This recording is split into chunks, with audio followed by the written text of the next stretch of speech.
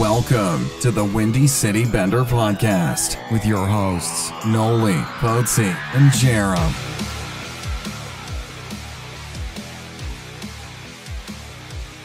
How's it going, everybody? Welcome to episode 21. This one is a bit easier to uh, to name, I think.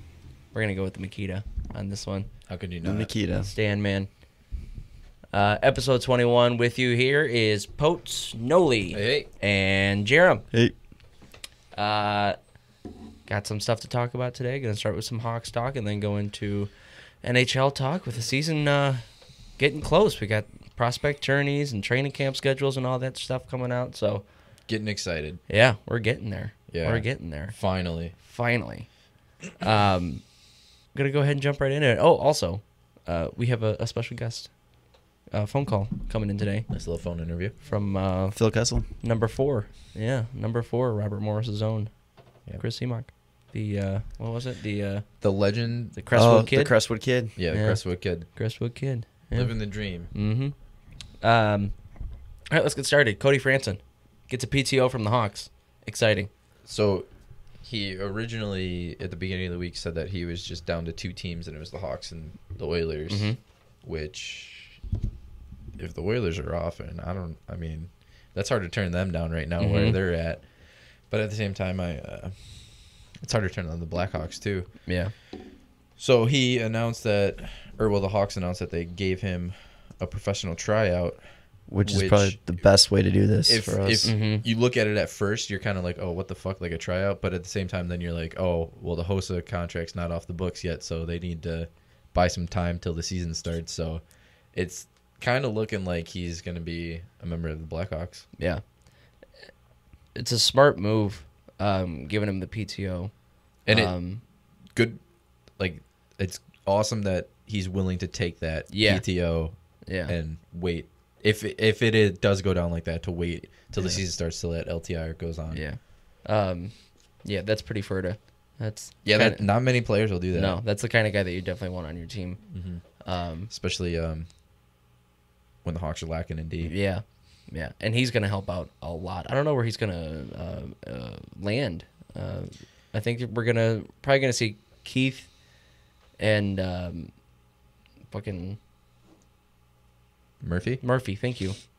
Um, I was. Are you sure? I, oh, I thought I saw Keith and or Murphy and uh, Siebes. Murphy and Siebes. I thought I saw that a couple places saying that, Yeah, but I could see that. Well, then maybe it'd be Franz and Keith, Keith. and uh, Keith I mean, and does he does Yeah. he almost have to get put into that top four role? I mean, I I would put him there immediately. I mean, Not Or or do you- doesn't necessarily have to, but the way it's looking right now, yeah. But the thing is, if you do the him with Keith, then he's your top two pairing, and I don't know if he's ready for that role yet. yeah. Or do you? Well, which see- is why I, I wanted I was putting him and Connor Murphy up Murphy there, and Keith, Keith. and Murphy, Which would kind of make more sense because Murphy's more of a stay-at-home guy, block Mhm. shots kind of guy. With whereas Keith is more offensive, exactly and then Seabrook is kind of the slowing same down thing as and a Murphy. But yeah, yeah, which gives Cody older Franson version. the the opportunity to kind offensive of opportunities. Yeah. or do you see him maybe like in the bottom pair, and then they're given the Forsling, the Pokka, a chance with the top four to learn from the best? maybe spread out the wealth a little bit. Yeah. yeah. It's not a terrible idea. Mhm. Um, especially with uh, the word coming out about Rosie not being 100%. yeah, which threw a little party after I heard that. But also not. But once I heard Franson, the whole thing with Franson, I was like, okay, it's it's okay. It's Yeah. time. Yeah, I mean, I took a shot of uh of something. I don't know what it was. It was. Did it you shoot him? Is that No, no, no, no. You no, shot him? I took a shot at That's why he's of, not of, of 100%? alcohol. It was it was blue. I don't. I black. I, I blacked out after it happened. One Um, shot and you're yeah, out, huh? One shot and I was done. Huh. I woke up in like the hospital. It was weird. Um, it, it was Some called like windshield it was like fluid? it was like Windex or something. I don't know. Yeah. uh, don't don't pretty drink the. Kool Aid, bud. No. yeah. Um, Hawks have options now. Uh, they got Forsling, Kempny, Gustafsson, and Svedberg still uh, to round out that. Oh yeah, and Pokka to round out that final uh, that final pairing. I'm sorry, I'm gonna be that person that keeps saying it. Pokka needs a chance. hmm Well, his chance is going to come in training camp and in, in preseason. So And like we said, their D is kind of eh. So I mean, this Yeah. is his time. hmm I mean, this is going to be a, a legitimate tryout for those for if those he guys. if there. he does make the team out of training camp, I Mhm. think they need to explore moving him to possibly get some because I think he would be good trade bait for a team that Yeah. needs like a young defenseman. I think we're either going to see Kempny and Forsling round out that final two, or Kempny and Pokka. I think it's gonna be Kempny and Forsling just because they've been up there Uh-huh. quite a few times already. And I I've- don't see Gustafsson or Svedberg making it really, unless Viktor Svedberg somehow figured his shit out in a year. Yeah, I don't. I don't think he has. No. No, Um, no, no. Even if he did, no. Yeah. Um. So yeah, I'm very happy about that. Uh, Franz getting that PTO. Um, Definitely he'll exciting. he'll be news. helpful. Yep. He's going to be very helpful. Uh, talked about the prospect tourney. That starts uh, tonight, Friday the eighth. Hawks play the Rangers uh, at six. I don't see anywhere that's showing a, a link uh, a link to a stream or anything. That's a Um, bummer. Yeah, I don't know. Maybe uh, maybe the Rangers have one on their website. I don't know. That's that's the one in Michigan, right? Yeah. Traverse City. Yeah, they play Friday the 8th tonight, uh, 6 p.m. against Rangers. Tomorrow, the 9th, uh, 3 p.m. Uh, against the Red Wings. And then the 11th on Monday, uh, 6.30 against Carolina. And then Tuesday, they play the entire Lindsay division, apparently. So, yeah, that's what it says on the website. I don't know what that means, but Yeah. What's the Lindsay division? no idea. No idea.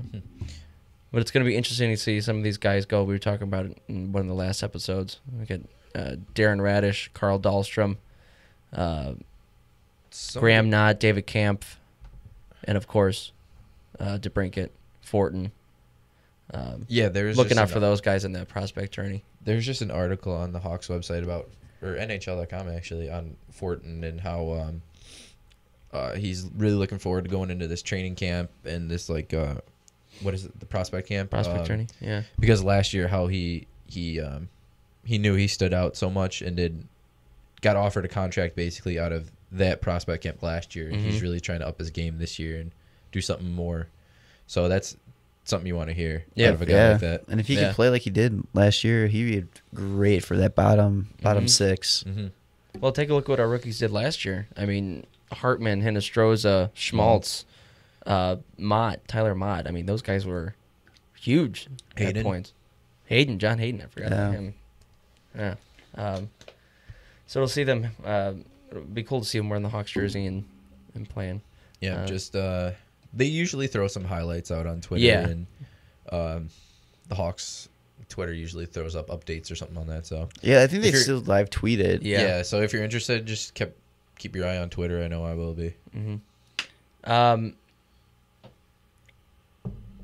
over the years, there's been more and more discussion about um, jerseys uh, in regards to um, Native Americans and uh, how logos are going to get changed, names are going to get changed. We saw North Dakota Fighting Sioux; their name got changed. The Fighting Hawks now. Yeah, with their fucking United States Postal Service Yeah. logo now. Um, the there's always been a big debate with the Redskins and the Cleveland Indians and the Hawks, and now it seems like there's some more, not issues, but um, This might be hearing a little bit more about this again yeah, for the Hawks. Um, I'm I'm not 100 percent sure in the whole story. I think it was So- you that found it. yeah, so basically there was a seven-year-old junior, not junior, but like seven-year-old girl from Canada who local team is something Warriors, the Fighting Warriors or something like that.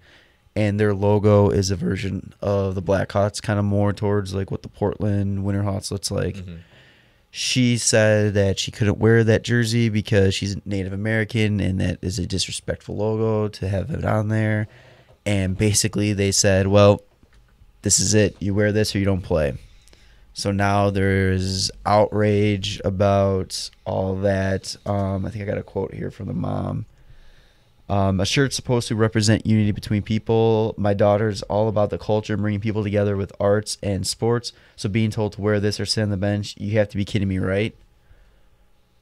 So basically, when I first saw this and I sent it to you guys, I was just like, well, is this going to be another issue for the Hawks? Because also between this, I saw that it's old, but you remember seeing that hawk logo where it's like the hawk but with the Indian feathers and all that that some artist made up as a replacement for the Hawks Mhm. logo.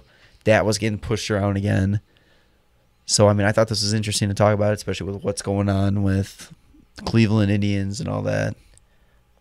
I understand the argument if the uh, Native American community has an issue with it. Like I can understand them having an issue with the Cleveland Indians Yeah. logo. I mean, The thing, okay, so we kind of just like went over this before the show, and the thing is, I don't. If they're so offended by, like some of the, these logos, which I can't, I'm not Native American, so I can't Right, really right. argue against them or for them because I'm I like I just can't feel either way. But if I am one of them, I'm going after the Redskins first because that's That that's the a- Redskins name that's is a, offensive. offensive name itself. and the cleveland indians because it's a cartoon drawing of an indian that's i mean if you're saying logos like the fighting sioux and the chicago blackhawks are offensive but the cleveland indians logo isn't Mm-hmm. that's kind of i don't know i think you're just going after something that's just there for you because um the chicago blacks are known to go out of their way to help Indians in the local area, the Native Americans in their local area, in the Chicagoland area. They bring them to every national anthem game. They have some some Native American out there representing their tribe on the ice. They have them at the Blackhawks convention. Like they have respect for the Native Americans, Mm-hmm.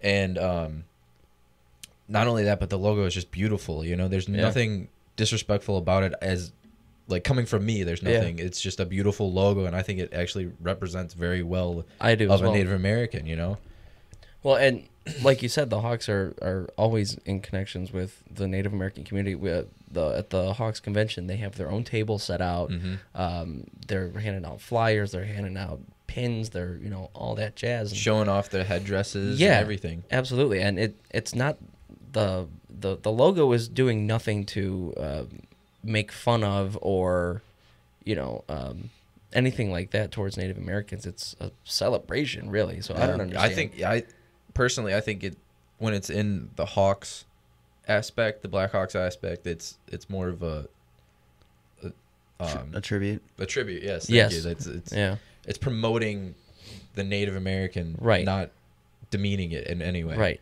See, but there's a difference though. I remember in the '90s when the Hawks were in the playoffs. Uh, Fans would go in and they'd have headdresses on and they'd have Yes. the paint coming on their on their face. Yes. That's different. That's that can go a little too far. Yeah. Yeah, I, I, understand agree that. with that. Yeah. Um, Going to the uh, Fighting Sioux though, that's they their logo was not similar to the Hawks, but it was dressed just as nicely as the Blackhawks. Yeah, logo. I'm looking at it right now, and it's It's it's, nice. It's a beautiful logo. I yeah, that when they got rid of that, that was very upsetting because they were all about the Sioux, you know, the fighting Sioux. Like it's not, it's just not something.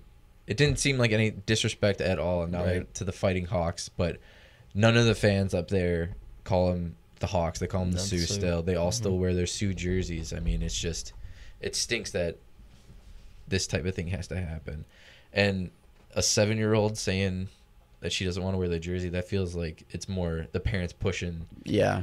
her yeah. than anything. Yeah. Um, I don't know. I I know that there's always been speculation around the Hawks logo and stuff like that, and whether or not it's going to get changed. And I really hope it doesn't because it is a beautiful logo and it's, It's the best logo in sports. Yeah, it- like, and that's not even like being a bias from being Right. a Hawks fan. I truly don't see a logo that's much well. There's better. there's always those lists. You know, Yeah. at- on major you know sports networks like uh, ESPN, TSN, NHL.com, like all that stuff. Is, and they're always top three. yeah, they're always in the top. So. Mhm. Um, hopefully, no, nothing else comes about that. Um, and the Hawks are able to keep their logo. Um, happier news: Corey Crawford has a kid, and this kid has the greatest name for a goalie, What is it? Cooper. Nice. That's good. I'm I'm gonna name my kid Coho. Yeah, I was just gonna say Uh-huh. co-host next. Uh-huh. What about Brian? Unreal. Huh? Brian. Only if he's born on the 24th. That's fair. Yeah. Yeah. Uh, We have a we have a deal on that, or Oh, and there's a handshake for who's listening and not watching. There I- was I a just- handshake. I just don't think he's worried about a kid anytime soon. Yeah. No, I'm not. I'm not. Uh, Don't worry, I will make sure this is saved as long as we possibly need it. Crow and his uh, his girlfriend Christy welcomed the baby Cooper uh, sometime last week because it doesn't have the date on here. So yeah, Cooper Cooper Crawford. Ooh, I like that. Cooper Crawford. That's neat. CC, CC. Hey, you know who has the initial CC? get the fuck out of here. Chris Cimoch. We're calling Chris Cimoch right after this. All right, boys, we have the uh, the famous Chris Cimoch uh, on the phone today. Chris, how you doing today, buddy? Good. How about you guys? Not too bad, not too Just, bad. uh, fighting the uh, championship hangover off. yeah, yeah, had a big win last Saw night. that. That was a big. Was that a shootout win you guys went into? Yeah. Yes, sir. After five minutes of OT, Mhm. made it to the shootout. Huge dub. Surprised. I'm surprised Poetzy didn't blow it for you guys. Yeah, we were all a little worried. I was too, really. I mean, all right, you guys suck. hey, Chris, uh, you were uh, you. I don't know, not upset, um, but you had uh, some thoughts on the, the USA hockey rule that we had talked about uh, a couple weeks ago about the uh, the no icing on the PK. Um, You think that it's actually a pretty good rule? Yeah, yeah. I, I just um, from I don't think when you guys were first talking about it, which is I think is everyone's initial reaction is, "Wow, this rule sucks." Right? It's a it's a change in the game. Um, but in reality, I think it does a couple different things for for the younger ages. So it, it's only for four. It's fourteen and under and down. So midgets aren't affected by this. High school not affected. Um, but what they're doing is one, obviously, uh, creating an offense for the power play team, which is ultimately what everybody wants. And then the second thing it's going to do is going to force the uh, penalty kill to become a little more creative. Um, and once they become midgets, how easy is it going to tell you, or easy for a coach to tell somebody, hey, you get to dump the dump the puck out. Mites and squirts can't even dump the puck out, anyways. You know, so what? It's not. fair. It's not not a big uh, difference, I don't think, and it's just creating more offense. And it's going to teach some of the younger younger players how to be more creative, you know, and maybe we see more uh, offensive penalty killing. So Do you think there's any way that this kind of thing goes all the way up to like collegiate levels and Just slowly works its way up to higher levels. yeah, no, no, I, I think I think it's a purely de- developmental develop- thing? developmental thing. Okay. Um, you know, try to catch up with everyone else because we're not we're not the greatest at developing players, but we're getting better. hmm and we're doing different things and creating different rules uh, that allow some of our younger players to develop the skills rather than, you know, just dump the puck out of the zone every two minutes on a penalty kill. Mhm. Do you do you think that um, instead of 14 they should drop it down to maybe like the age 12 cuz I mean by age like 13 14 you're hitting and everything so do you think it's like more of a something that they should allow once like since hitting starting up and all that like or do you think it's a good spot Well- where it's at at 14 No, I, I like I like where it's at. Um, I don't think there's. Like I said, I don't. You, how easy is it going to tell when you go from a bantam to a midget? Hey, you get to ice the puck down. Like, just it's still part of the developmental stage.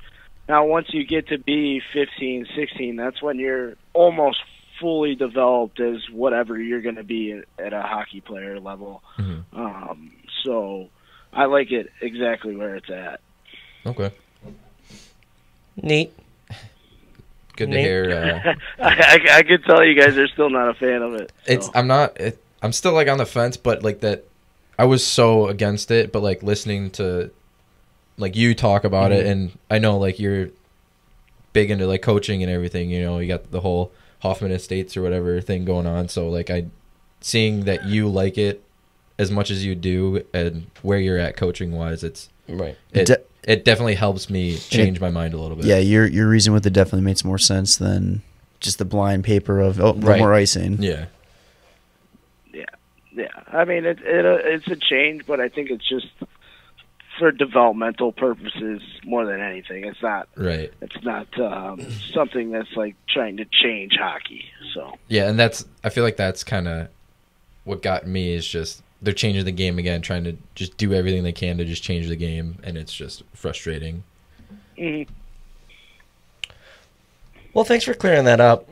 actually, it does actually kind of start to make sense now. I mean, It yeah. I, I still don't 100% agree with it. I think it's, I don't know, maybe a step a step too far because, I don't know, I feel like that, that kind of thing could be eradicated in, in practice or something. I don't know why that has to be brought into games, but uh, I understand the idea uh, behind it. Um, there are more rule change uh, changes, Chris, uh, that happened the other day. Uh, if you get the uh, offsides video review wrong, you get a two minute penalty. What do you think about that? really, when did that happen? Uh, I think a couple a days ago. ago, Yeah, Yeah, yeah. Wow. Um, why not? I don't know. Yeah. Do you do you lose your timeout too as well? I don't think so. I think it's I just you get a two minute penalty.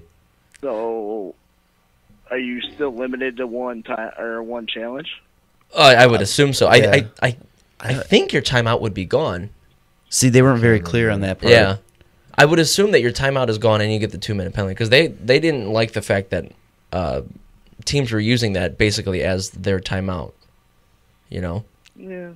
Well, I, that's what happens when you put a new rule and you Yeah. gotta find a way around it. Uh-huh. Yeah. See, my issue with that one though is how many times did they go on a video review for offsides and still get it wrong? Yeah, I know. Exactly. Who's gonna be That's the first? probably that's probably the bigger problem. Yeah. More so than anything. is Mhm. to- when you see it clearly on the television, you're like, uh, why are they still getting it wrong? What was it? The Yeah. one with the Hawks in Minnesota? Toews, I think. Right? Yeah, Toews and it was like clearly, and they still called it good. Yeah. Mhm. And then it got it got turned around on the Hawks like a game later. I Yeah, Yeah. Yeah. Yeah. See, that's that's where this I don't like this rule because I mean losing your timeout's huge, as it is, and then if you throw in a two minute penalty on a play, especially if the ref still gets it wrong, how how livid are you going to be? That Yeah. team just scored a goal that shouldn't have been a goal, and now they're on the power play. That's rough. Yeah. Yeah, yeah. I don't. I mean, I guess I would have to feel or see what it exactly happens, but um, that's interesting. Yeah. Yeah, I don't. I, I, I think that the bigger issue is not whether or not they're using it as a timeout or not. It's whether or not the referees are getting the shit right. yeah. Yeah. You know, I mean, because that was an issue all throughout the playoffs too. Yeah. Uh, the video reviews were horrendous. Yeah, they and um, they kept if you challenge a goalie interference, they kept it just the timeout. It's not a penalty because they said there's too many, too much gray space into And- what is yeah. actually goalie interference, which blows my mind. That okay, you you you admit it, but you don't fix it. You Yeah, don't get a clear definition. Well, that was the thing. I thought it was interesting that they only did uh, made this rule for offsides Mhm. and not not for the goalie uh, goalie interference or high stick or whatever else you can review. Mhm. It was just the offsides. yeah. Because that's the most common challenge. Well, then why not just do it for everything then? because there's such a gray area in goalie interference on what Yeah. is and what isn't. I guess. Yeah. I don't know. What was the the other? Wasn't there another rule There's change? an icing. If you ice the puck, you're no longer allowed to use your timeout. oh yeah. Yeah, that's right. Did you hear about that one, T-Mac? That's a good one. You like that That one? That is that's yeah, that is a good one. I mean that I mean that's the whole people are just wasting it or not wasting their time out, but you know finding once again we're talking about a rule change and finding a way around it. Um, that seems like a pretty good idea. I Mhm. like that one. Yeah. And then the last one was, if I, I believe I read this correctly, if I might be a little bit wrong because it was kind of confusing wording.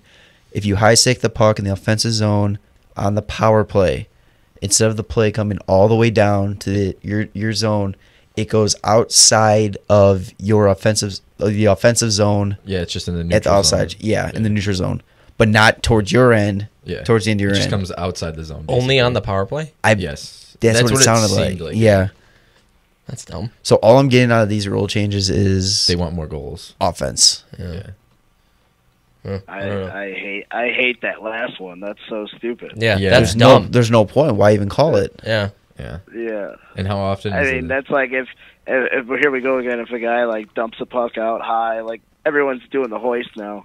If Mhm. someone can knock it down at the blue line and save yourself going all the way down, and it's just outside the Mhm. zone, Yeah. like that's a big advantage. That's that's that's a solid 10, 15 seconds of skating back and coming back up the ice compared to just another Exactly. face off. That's dumb. Yeah. That's Yeah. real dumb. Um, moving on, Chris, you wrote a, a, a nice little blog for our, our website about the what USA hockey would look like if they went to the Olympics. So fir- first off, how still how salty are you that uh, no Olympics? Uh, it's not gonna bother me. I think we'll still see some quality hockey, Mm-hmm. but it's just. It, I mean, it'd be so much better with all the NHLers that get over there and play. I don't know. It's just. Yeah, missing It, it, it's it sucks. It's an opportunity to, like we said, exactly. get these players recognized throughout the world and get more people involved in hockey, and we're not going to do it. So Do you think this is actually just Canada being worried because USA looks pretty stacked right now? no, no. If, if, if you you could you got to reread my blog only because I said Canada one, two, and three. yeah, all right, you're right. Yeah. um, going back to trying to grow the game and everything, uh, the NHL has had their media week almost um, this week, and a lot of the things that I saw were guys trying uh, Japanese dishes and saying things in Japanese and Chinese, Chinese, yeah. and and trying to pick up pucks with chopsticks, and it's like, what are you guys doing? I, for I understand uh, that you're trying to like grow the game and everything, and I know they're going over there. Yeah. But like, why not just bite the bullet? Go. You're already doing X amount. Just do it. Just go. Who cares? Yeah. I don't know. It's You got to have some kind of advertisement. What do you want just to go there? Well, no, I mean- stick to be like. If that's what they think's gonna help grow their name, I think. Yeah, that's what I know. Saying. Like, if if honest to God, if the selling point is Marc Andre Fleury trying to pick up a puck with chopsticks, So, then so you is think if they were going to the Olympics, they wouldn't be doing all this stuff? No, if if doing all this stuff and going to the Olympics make more sense. Yes, that's what I'm saying. just doing this. No, but they're going. They're going there for preseason games. Fair. No, I, I know that. I'm just saying it makes sense if they're doing this while going to the Olympics at the same time. But, But- they're, they're still going either way. I know. You're not picking up what I'm putting no, down I, here, I Brian. am. You're not picking up what I'm putting down.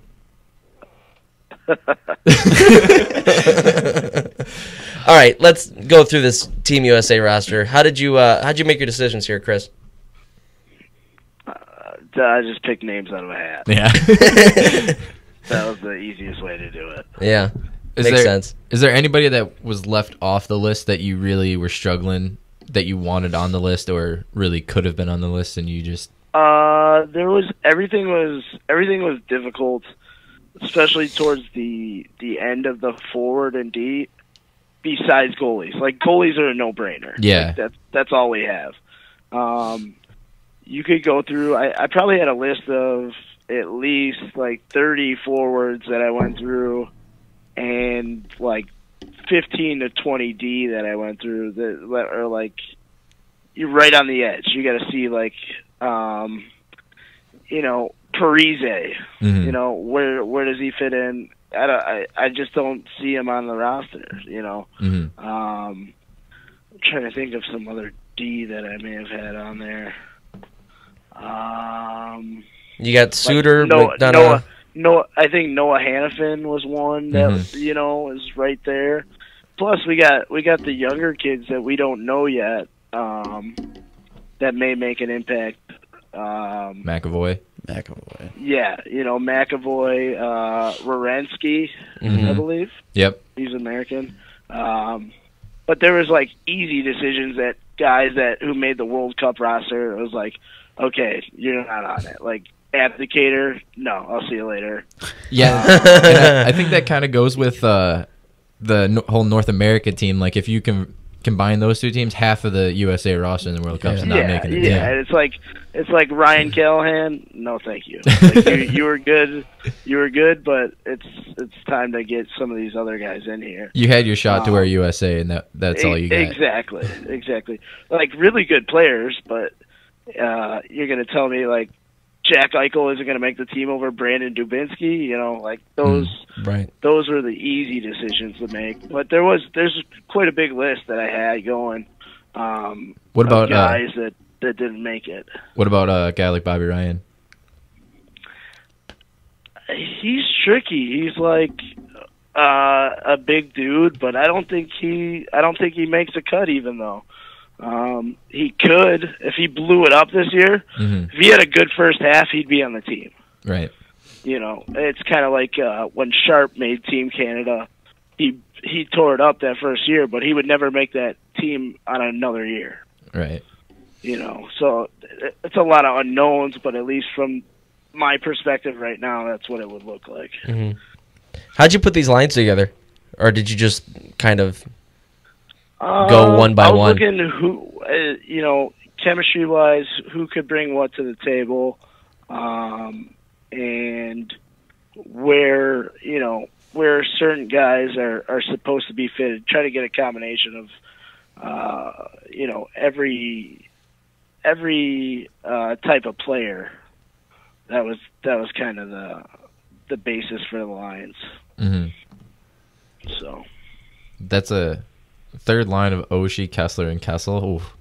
hmm Yeah. Fuck. Yeah, and that's you know that that's a that's a line that can be your shutdown line, maybe you know. Oh yeah, and I know, and Kessel can just turn it around real quick. You know. mhm. Who else you calling there? Uh oh. just just my dad. ah, oh, okay. Yeah. We can exit Yeah. out of that. Yeah. So um, yeah, that's kind of putting together the lines, or just get a, get a solid mix of every single type of player that you need.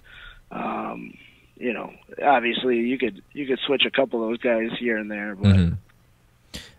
Looking at these lines, it's kind of, it does kind of get you frustrated, like knowing that there's no Olympics, and then they're saying like, oh, the World Cup's kind of replacing the Olympics, Yeah. but having that North American team and then seeing the lines that you could have had in the Olympics without that North American team, it just it kind of gets you frustrated. Because seeing like uh, Eichel and Kane together, how much fun would that be to just to watch those two? That would be players? amazing.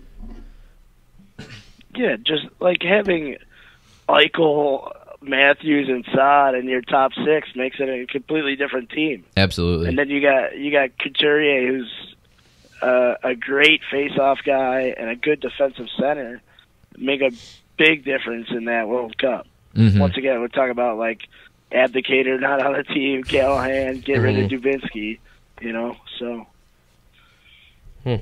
Well, you did good, kid. You did good. I, I still don't think Quick should be over Gibson, but we'll fight that battle another well, day. yeah, well, you think you think Schneider should be anywhere on there then? Like I think Schneider should be third. really? Ugh. Gibson, Quick, Schneider. And who's been the most consistent goaltender out of those three? John Gibson, probably. Oh, I- you better look up the stats there, bud. Cory That's Schneider. your, that's your position. I Yes, I know. Cory Schneider last year had an atrocious year. yeah on a dog shit New Jersey team. Yeah. Even on this even team. with that dog shit New Jersey team, he was terrible.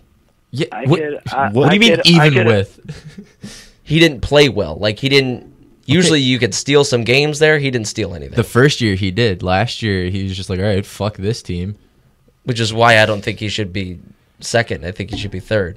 I I'd put Meanwhile, first. John, I- John Gibson took his team to the conference final. Yeah, okay, Uh, mm, Jonathan Quick. What, what C-Mike just did is exactly Uh-huh, how I feel. yeah. Yeah. Jonathan Quick can't stay healthy. Numbers are down. well, Doesn't Gibson when, been hurt too? John Gibson been healthy? Yeah.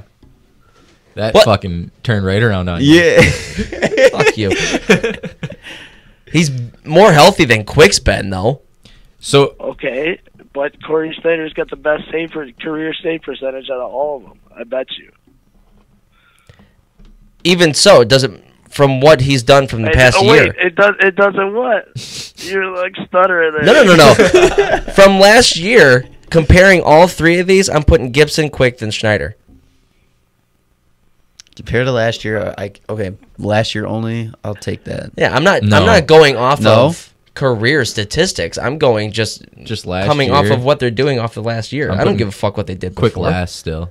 Quick didn't even play last year. He barely played. I, and he was still better than Schneider. Oh, really? So is that does that go back to our Crystal Tang argument? Yeah, if you want to drop the gloves right now, I'm ready, dude. Because what you just said goes back to the Crystal Tang argument. That's how bad Schneider was. Oh Just saying. man. Just Whatever. saying.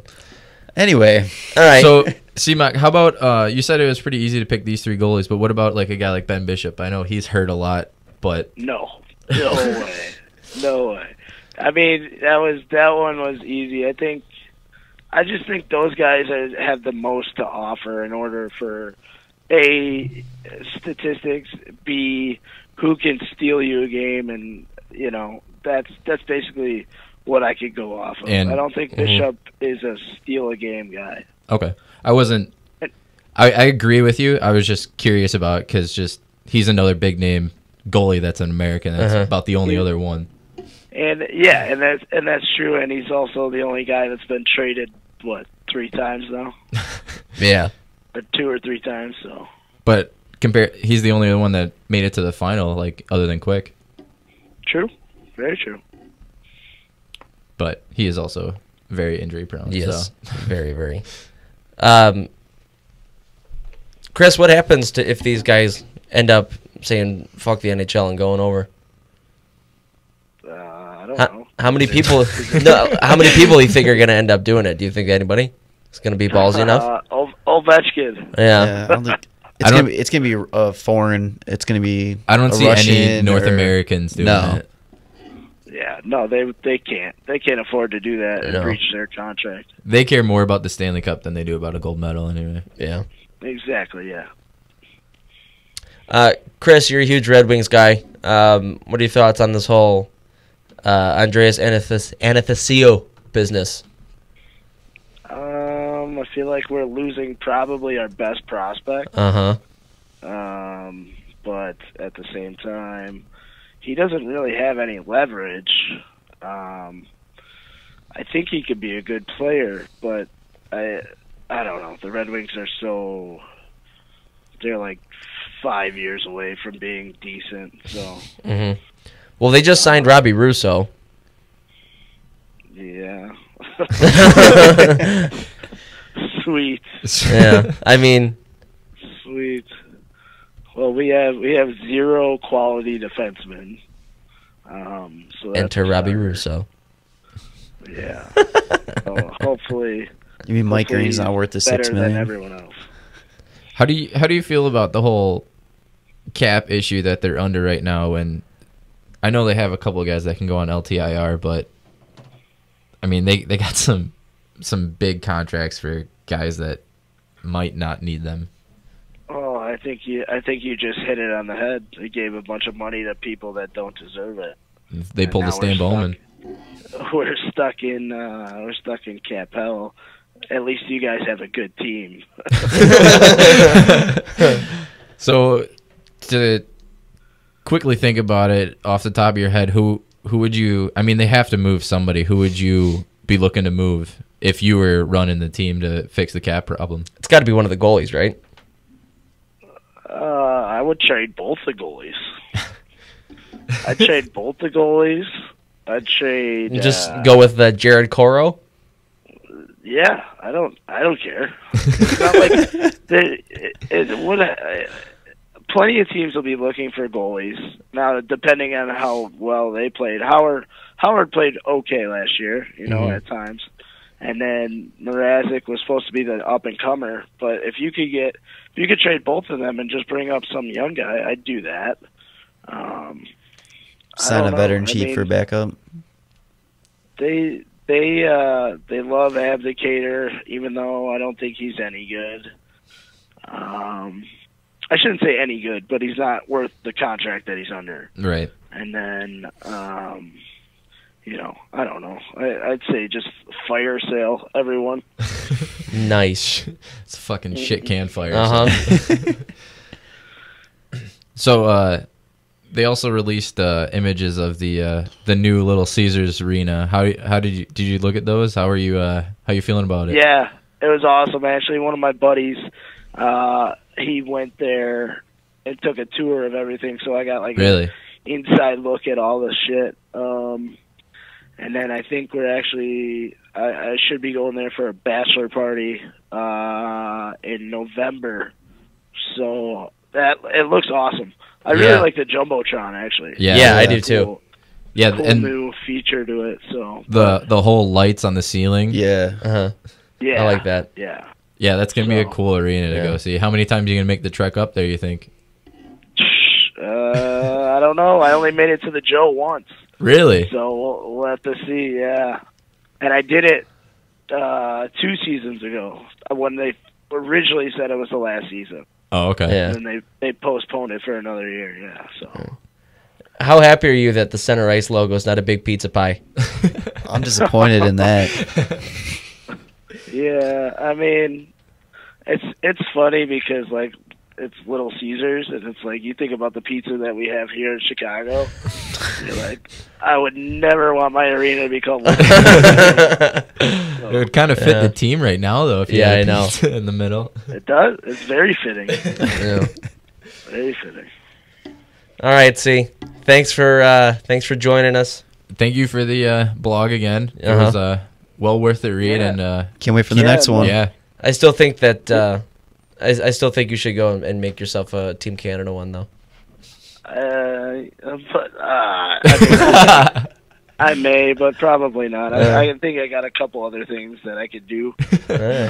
um, that we kind of discussed, but we'll Yeah. we'll see. All right. All right. Well, have have a fun day at work, bud. yeah. All right, All see right. you guys. Bye, buddy. Thanks, bud. I really don't like how you guys gang up on me all the time. Well, you know, it's easy to do when you act like the way that you do. You you walk in. What? You set yourself up like Yes. a lot of the time. You really do. Oh my god! like with that I'm, socks hat. Come on. I made a legitimate. what do you mean? I made a legitimate point about God. Fuck, I hate. I, I'm not good at arguing. Also, I, I'm very bad at it. Every time. You did have a couple stutters in that. Yeah, I, I'm terrible at arguments. Real bad. So I like. I shouldn't be a lawyer. Um, I'm glad you know that. yeah, though. no, shouldn't be a lawyer. Uh, I shouldn't be in a relationship. I'll, just, I'll lose all the arguments, and then uh, Well, I mean, maybe Yeah. that's a good thing though. Yeah. Maybe it makes the li- relationship last. yeah, but then I'm not wearing the pants anymore. But, you know. It's fine. You wear women's pants anyway. Okay, hang on. we go we, through. we can we can move past. It, no, don't no, we got to go through the story because people think I'm gonna be walking around in like women's jeans, which is only slightly true. So what happened was, um, God, this is so off topic. Um, freshman year at Robert Morris University, uh, we had to uh, dress up for home games and uh, suit and tie and all that jazz. You Michael Scott it. huh? You Michael Scott it. in, in a sense. Kind of. Oh my god. You didn't buy the suit though. No, I didn't. Um, uh, first game, um, I go to put on my pants, and I'm like, "There's like an elastic waistband in this thing. It's pretty awesome. Like, I don't have to wear a belt if I don't want to, but I still did because it looks good." Um, so I'm wearing it, and like I told uh, Nolly about it, and I told Ski, uh, the other guy that's in our uh, was in our uh, carpool, and and they're like, "That's fucking weird. Like, I've never had a pair of pants that's ever had any elastic waistband on it." So it's like one of the last games of the year, and I'm putting on my pants, and my mom's like, "Are you, are you wearing my pants?" And I was like, "No, no, no. These are my, my dress pants for for hockey." She's like, "Do they have an elastic waistband on it?" I was like, "Yeah." She's like, "Those are my pants. Can I have my pants back?" So for almost an entire year, I wore An my entire mother's, my mother's dress pants. Oh, the, the thing that gets me the most is that they fit. yes, they did. They fit beautifully. Those are the most comfortable pants I've ever had. Oh my god. They honestly to God were. They Totes. were the most comfortable pants I think I've ever had in my life. Take a drink, bud. Yeah. I mean, I wish I hadn't done it. I really do. I wish it hadn't happened. And I'm never going to do that again. I'm always going to make sure I'm not wearing my mom's pants. So is that transferred into like your mom's shorts or your your mom's jeans? No, no, Your sister's shirts? no, No. no, no. No no dresses. Once, but I was a kid. All right, I think that's enough of therapy couch today. Yeah. Let's go. Let's move on. Uh, No more Poetzy's corner. no, no. I don't even know how to transition into this, so we're just gonna go to it. So Ryan- big news coming from the Central Division. Yeah, you go ahead and take that one. Um, I'm gonna sit in the corner for a second. Take a few Uh, topics off. Yeah. Stanley Cup final team Nashville Predators announced that Ryan Ellis will miss start of the season after a knee surgery, which they never said what kind of surgery it was to fix, but um, he'll be out four to six months, and it's they said uh, it's looking it's going to go the full full six. So that's a huge blow to the Nashville Predators and huge gain for the Chicago Blackhawks. Huge game for the entire division. Yeah, it really is. Um, Na- Nashville's definitely gonna hurt without him, but at the same time, they have so much going on that it's it's it's gonna be a bump in the road, but they're not gonna they're definitely gonna be able to overcome it. But it's a huge bump in the road. Yeah, I we were talking about this when we heard it um, in the car. Um, we were wondering if this happened in the playoff run or whether it just happened during training now. Because if it happened during the playoff run, it's pretty irresponsible to get this done now. Yeah, because if it if it happened in playoffs, you're getting that surgery right away, and you're Yeah. you're coming in early in the season, not missing half the year. Yeah, they, said January first is the right, so I'm- shooting. I'm, reading this. Um, the defenseman even played despite being hurt in the decisive game six before having surgery.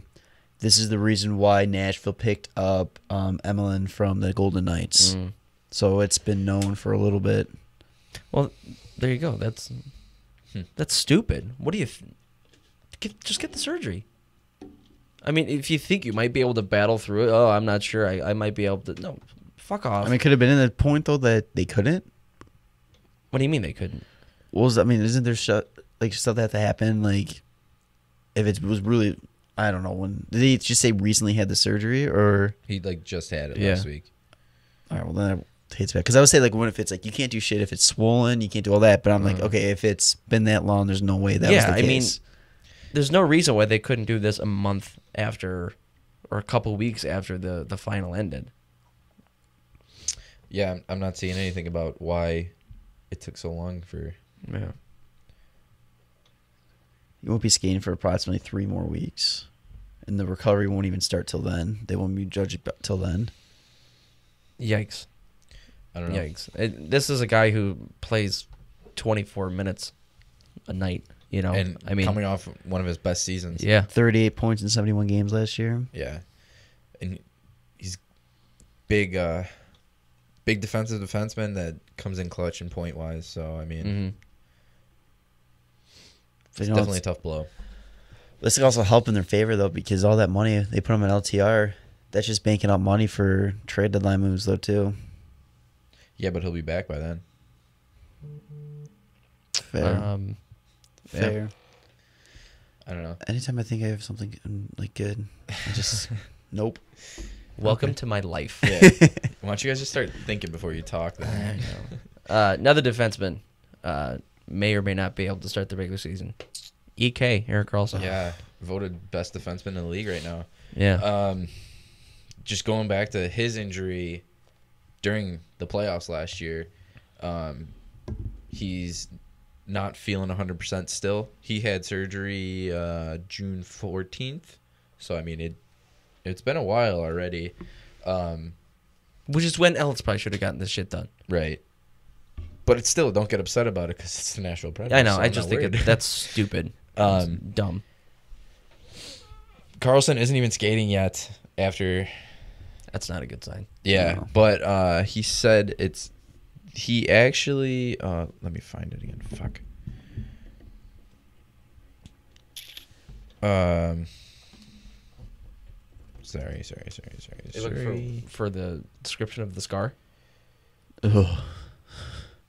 It's, it's Um, pretty gross. He said that once I start skating, you never know how quick things uh, will develop. If everything is healed, I should be fine to push it by then. But if I don't feel ready. It's probably going to be better for me not to start the season, but I'll be back sometime in October for sure. So I mean, it's not. It it seems like he's not going to be missing much of the season, but starting without your captain and He your just wants to make sure he's 100% Yeah, before and for what goes they out. For the what they yeah what they rely on him for. I mean, take the couple weeks because especially if they can make do what they did last year and make a deep run in the playoffs, th- they're going to be on him. Yeah. they're going to be he's going to be carrying this team. Yeah. So, oh, he, this is what I was looking for. So, it said um, Karlsson played the whole playoffs with um, uh, two hairline fractures in his left heel and muscle damage in his ankle, injuries that led to a postseason MRI that revealed the damage to his tendons, which um, they actually he actually had no more tendons left in his foot, and they had to put in uh,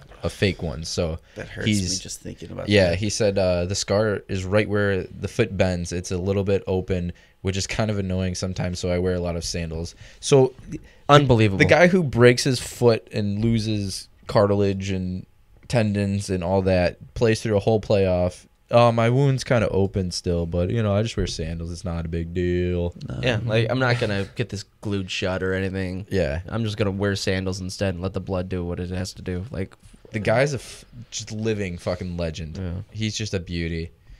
But so I mean that's not as bad as the Ryan Ellis news, but No. definitely not great news going into the season for the especially for Senators. like you guys. I mean, you're a huge oh yeah huge he's one of the guy. He's one of the most fun players to watch in the league. um, well, the Senator fans are going to be watching uh, Erik Karlsson with fifteen thousand less, or uh, fifteen hundred. Sorry, less people in the arena. Yeah, yeah, Fifteen hundred seats taken out of the Canadian Tire Center. Not even not. They're still there. They just put tarps over it. Yes, yes, it looks ridiculous. Um, it says Ottawa Senators hockey on the tarps, and it's yeah, I don't know. It didn't really even try, uh, but I I think it was a soccer team uh, in Ottawa.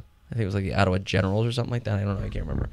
Um, they tweeted out after this had come on. They're like, "Oh, we just picked up 1,500 seats off the street, so now we got 15 extra, 1,500 extra tickets to sell. If you guys want to come out." good for them. Yeah, I thought that was pretty funny. Um, I, So they have kind a hard a- time filling the stadium. I so their plan is to take away the cheap seats. yeah, I think So it looks like they're pathetic. selling out. Yeah, kind of pathetic. I don't know. Um, I've been reading a lot about this whole situation, and a lot of people are saying that it's it's not the team, it's location. There's people that I was reading like comments on it, and someone was like, "I was there for a game last season, and it was absolutely ridiculous trying to find my way to get to the arena. I guess it's like 30 minutes out of the actual city. Hmm. It's not even like it's nowhere near Ottawa. well, here's what this says: there are many theories as to why the Senators have recently struggled with attendance, from arena placement to prices and citywide payroll problems. Last year, in particular, was their worst attendance season in 20 years, and it's hard to nail down exactly why the Senators struggled to draw in fans, despite being better than projected last year. If the Detroit Red Wings can still sell out games, Yeah, can't the. Ottawa Senators with all the issues that are going on in Detroit right now? Why can't Ottawa can fucking figure it out? Yeah, I know.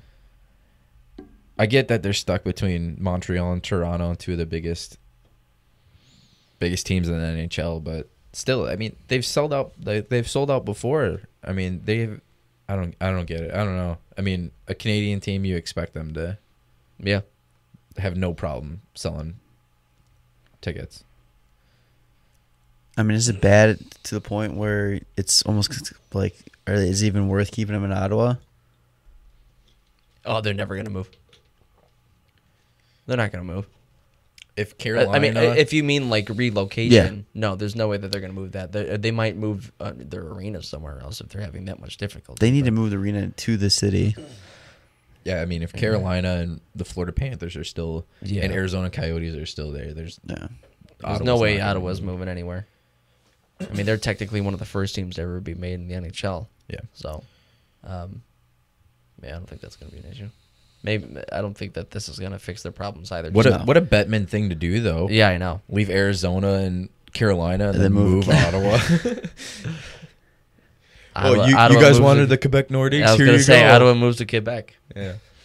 I don't know. I don't think covering 1,500 seats in TARP is gonna solve the problems in any way. But Like I said, especially good the, luck to you. the it's the cheaper seats. Yeah.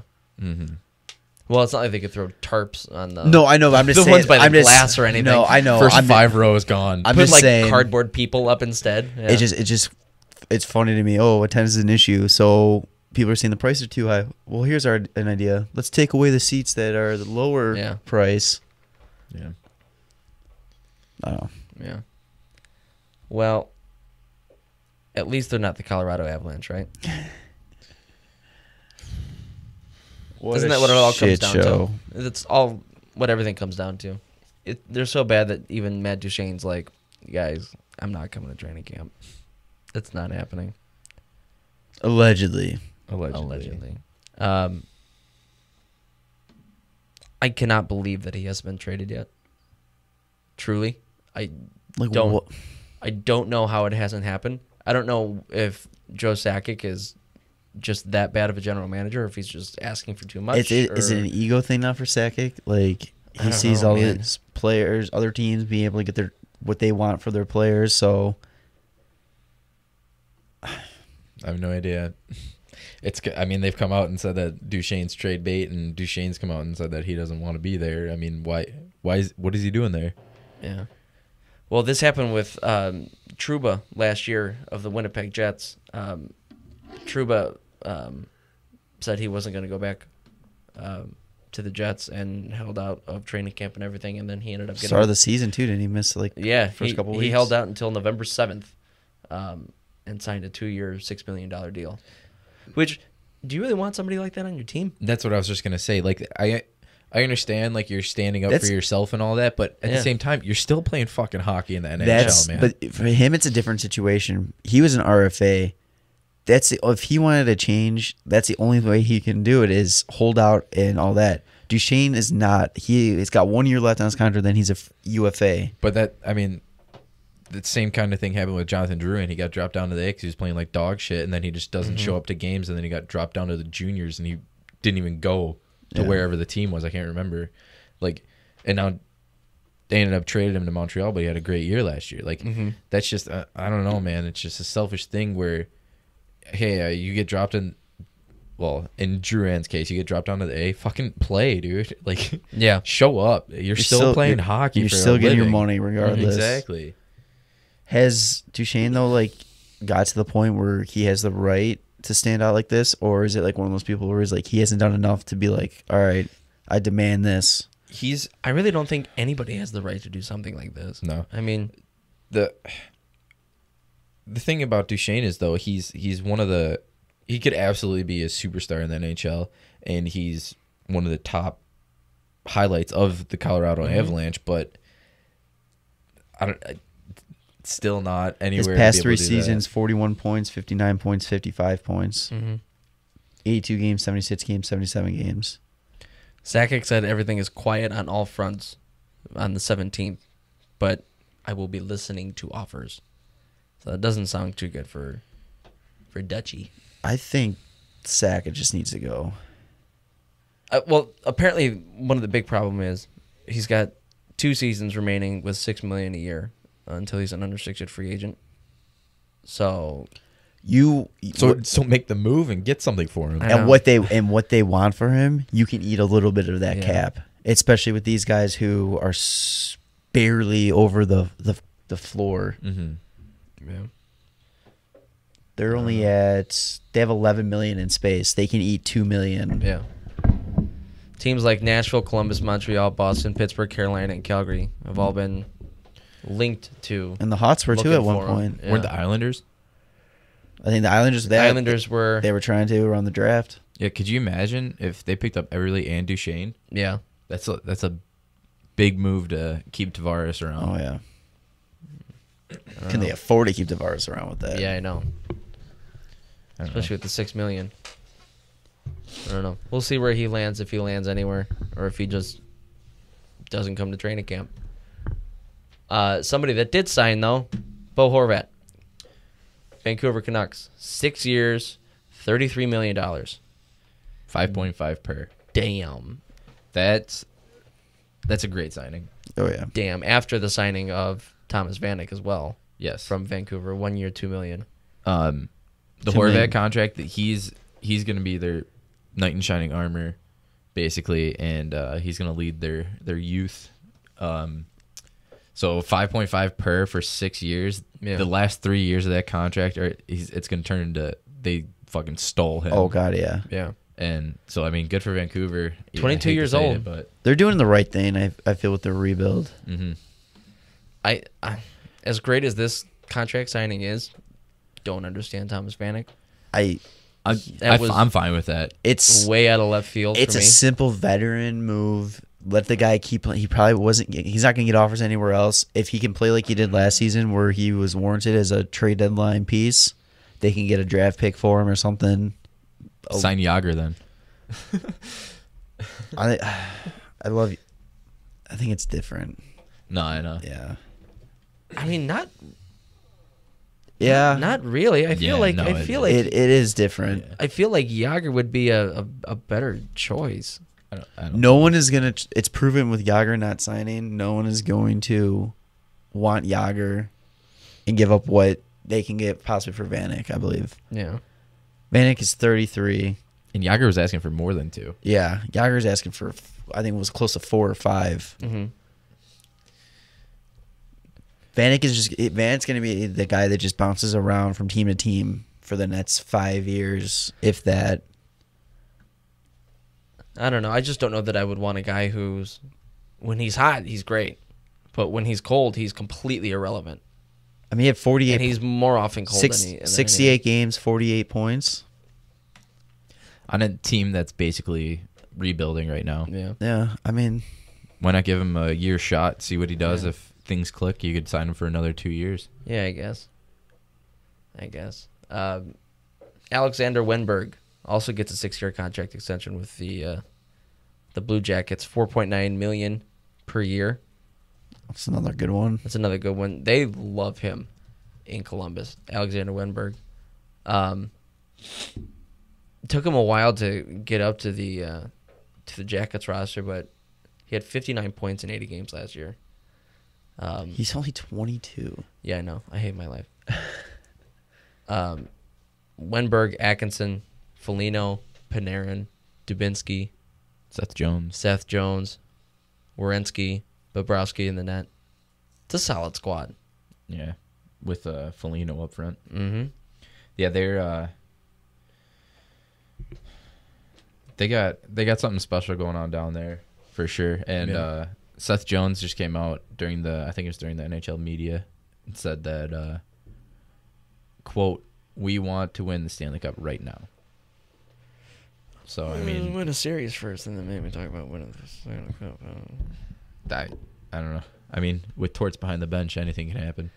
Yeah, I know, but No, I I I feel honestly I I don't think they're making the playoffs this year. yeah. But they they're gonna be a good team down the line. Tell you what, if Artemi Panarin is like the man Does that, what he does. leads them to the final and wins the whole thing, I'm I'm I'm I'm gonna kill him. I'm probably gonna shoot him in the face. Don't be so sad. Don't do that. Don't do that. That makes me mad. Um. Yeah, good deal. I like it. Ten out of ten. Um. We've we found this uh, today. Thought it was absolutely hilarious. Michel Therrien, former coach for the Habs, who was replaced by uh, Claude Julien Again. this year Again. um, is is back to the Montreal Canadiens as a scout. So, okay, At le- at least he's not coaching anymore because I've never heard a good thing about him as a coach. everybody hated him. Yeah. Everybody hated him. Didn't he like start a revolt with Subban and Price and Gallagher and He's Pacioretty? the reason why Subban's gone. yeah? Yeah. I don't know. I just thought that was funny Yeah, it is. that they're bringing him back. Keep him away from the players though. Um, former Canadian George Parros taking over for uh, uh, what Pronger? I think we Pronger, said yeah. Pronger uh, as the new Department of Player Safety. Um, Stephane Quintal, uh, who was uh, serving as the senior vice president, uh, was the lead voice when it came to like suspensions and stuff like that over the past couple years. So it wasn't um, wasn't Pronger, it was Quintal. Thanks, Jarom. Um, No, Pronger was still a part of it though. Pronger was on the on the thing. On the on the board. Oh, I see what you mean. Yeah. Yeah. And I think Parros is like Pronger was supposed to take that role, hmm but he went to Florida. So that's why they're going with Parros. Parros instead. Yeah. Interesting Per- choice. I thought. Parros, one of the fucking, probably the best muzzies since Landon Oh my god, great. Yeah, unreal. Talk about your grinder, I know. I think George it's great. Parros. I- Oh my god. It's great that these the goons are the ones in charge of Mhm. player safety. They Well- they know the ins and outs. Uh, exactly. They know exactly what, especially George Parros. He, uh, what he got. That was uh, his career was ended with yeah, that. the, With a a punch, and then he smacked his head on the ice. yeah. yeah, Yeah. he got knocked out and face planted, Mhm. basically. Yeah, that was um, yeah, that was a bit- Unfortunate. bit uh, frightening. Um, yeah, I think it's, I think it's interesting. I hope, I hope he does well. Um, I didn't realize he was a Princeton guy. yeah, he's brilliant. Smart. Yeah.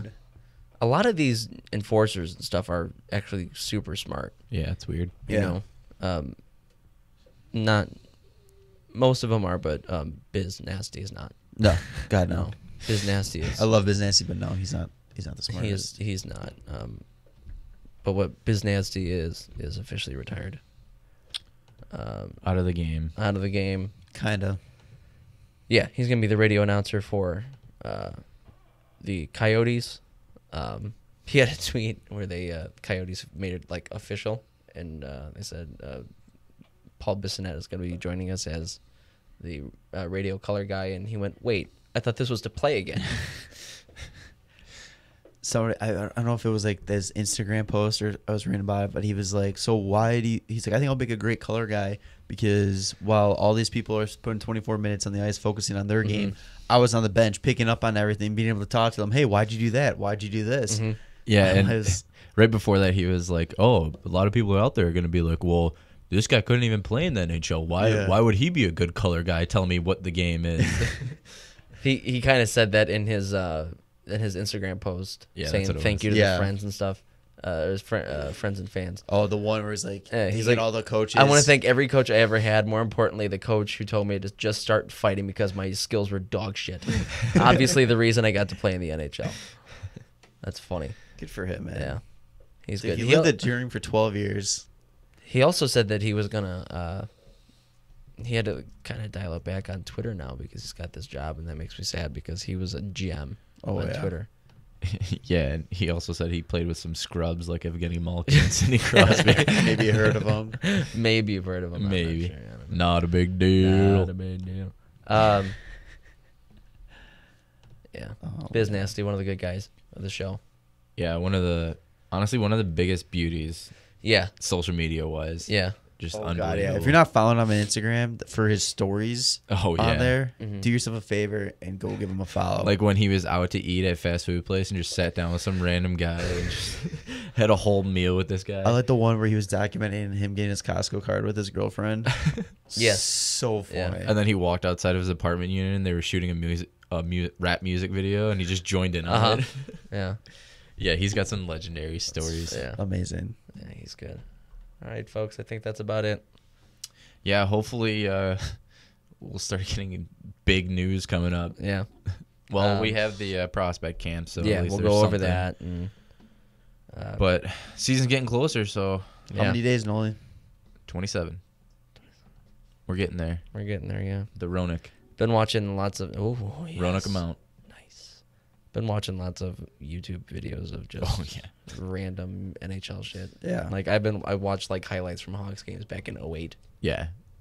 Yeah, so exciting. Like we were saying, like I was the picture, the portrait of McJesus or not McJesus, Captain or General McDavid, Mhm. and Steve Daniels said it best. He's like, yeah, we need hockey back. Yeah. like it's getting it's getting silly. Yeah. all the stuff we're doing. Yeah. All right. Thanks for joining us, y'all.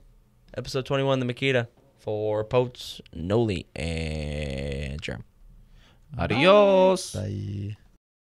Follow the guys on Twitter at WCBP, on Instagram, WCB Podcast, and like them on Facebook, The Windy City Benders Podcast. The Windy City Benders Podcast.